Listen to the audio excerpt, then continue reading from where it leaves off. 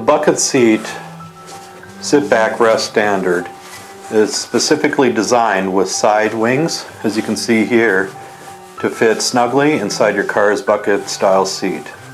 Side support wings provide maximum comfort and support while driving and also fits in most standard bucket seats.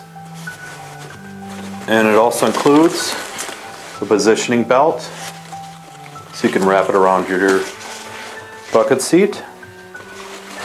And it's available in blue, black, and gray. And it is 13 inches by 14 inches.